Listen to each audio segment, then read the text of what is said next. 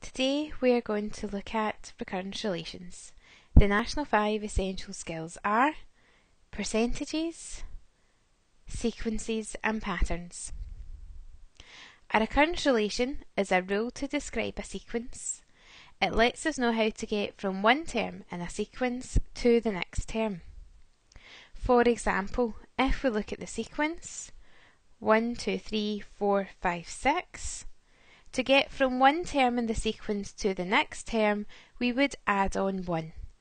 However, we need to write this mathematically and find a formula for the relation.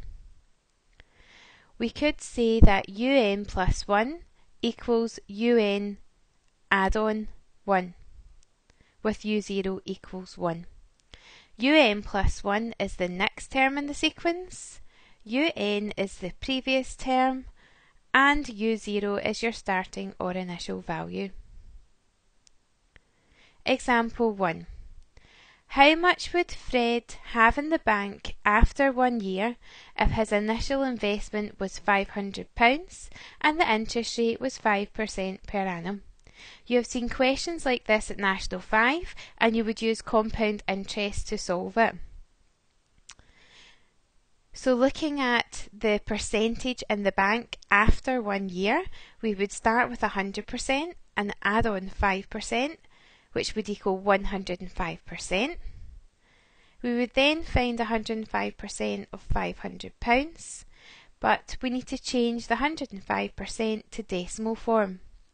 500 times 1.05 is equal to £525. This is how you would answer the question at National 5. We can use recurrence relations to describe how you would get the value of Fred's investment for consecutive years. So we can say that un plus 1 equals 1.05 multiplied by un. So to get the next term in the sequence, you multiply the previous term by 1.05. And our starting value is 500. So to get the value after year 1, it's 1.05 times u0, 1.05 multiplied by 500, and again we get the answer £525. Example 2. How much would Fred have in the bank after two years if his initial investment was £500, the interest rate was 5% per annum, and he added £50 to his account each year. Again, we first of all need to state how much is in the bank after each year percentage wise. So we start with 100% and we add on 5%. So there's 105% at the end of each year. So year 1, we would work out 500 times 1.05, but then we would need to add on £50 because he is adding £50 to his account each year. So the end of year one now, he has £575. If we want to look at the value he has after year two, it'd be £575 times 1.05, £603.75, and then he'll add £50 to this, which gives us a total of £653.75. Again, we can set up a recurrence relation to describe how you would get the value of Fred's investment for consecutive years, even when we're adding £50 each year. The recurrence relation would be un plus 1 equals 1.05 un, but we then need to add on 50. And again, our starting value u0 was £500. So to get the value at the end of year 1, we would name that u1 equals 1.05 times u0 add on 50. So it's 1.05 times our starting value of 500 add on 50 to give an answer at the end of year 1 of £575.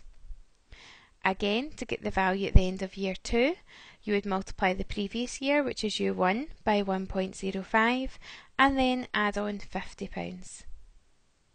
1.05 times 575 add 50 and again the end of year 2 we get an answer of £653 and 75 pence. At higher, the general form of a recurrence relation is un plus 1 equals a un plus b. a is always where your percentage would be within this general form.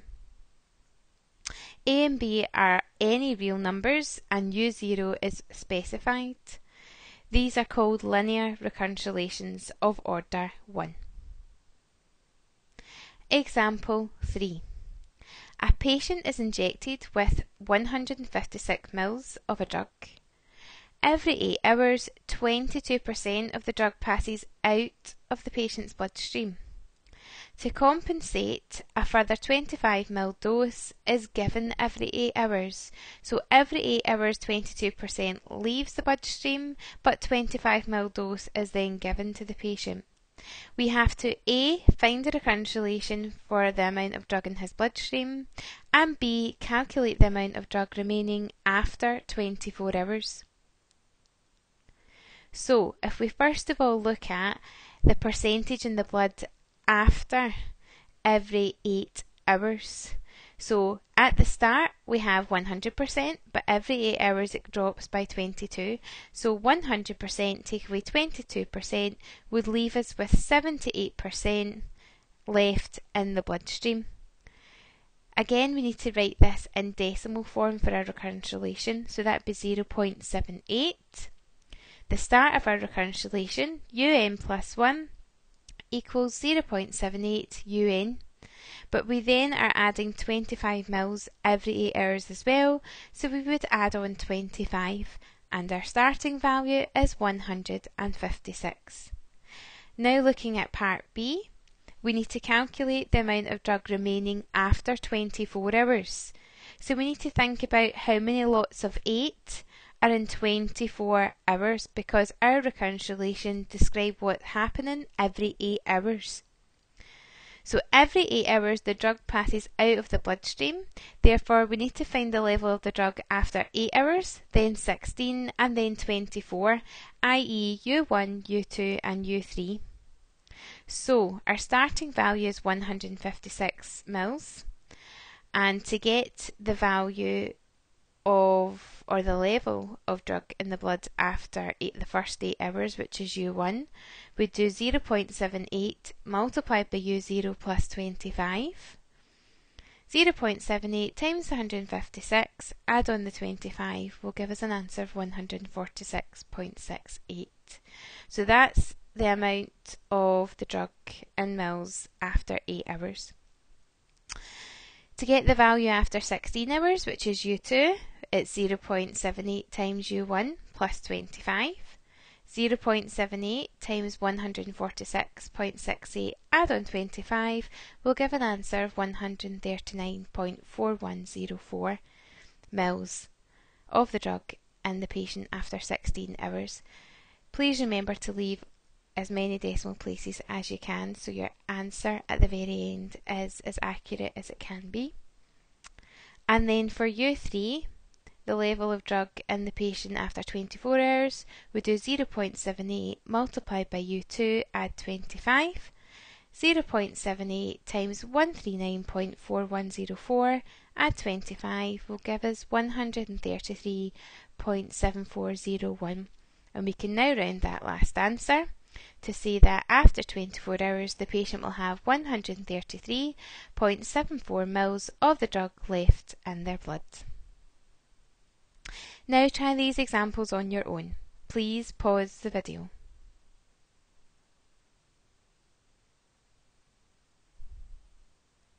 And the answers.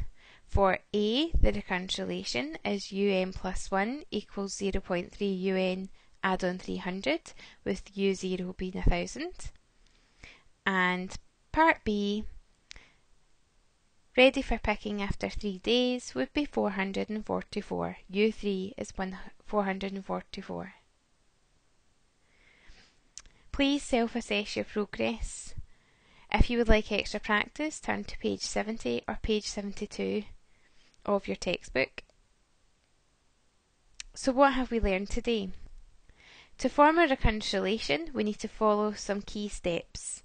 Step 1 is find out the percentage that is left Step 2. Change the percentage to a decimal. Step 3. Insert the decimal in place of a in the general form um plus 1 equals a un plus b. And step 4. Insert any values that are added or subtracted into b.